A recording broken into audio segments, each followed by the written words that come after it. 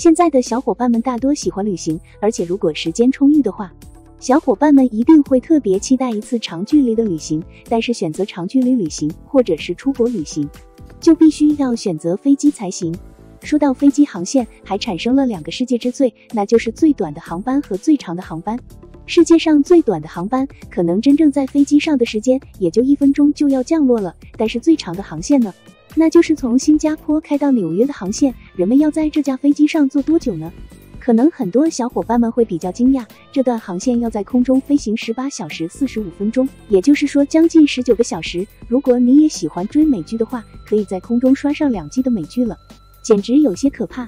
这个超长航班要使用的飞机是最新的空中客车 A 三五零杠九零零 ULR，这个技术可以说是非常新的，而且相比之前的飞机还特意提升了一下燃油系统，这样就可以让这架大飞机在空中不断飞行九千七百海里。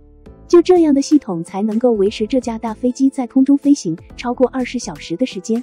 而且相比之前的飞机，这个超大的家伙还会给你更好的旅行体验，那就是这架飞机拥有更大的窗户、更高的天花板，还有非常好的照明系统。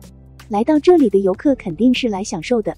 目前这条航线的机票已经开始预售了，只是价格并不便宜，售价一万四千元以上。不过对于大多数小伙伴来说，能不能承受这么高的价格都还在其次。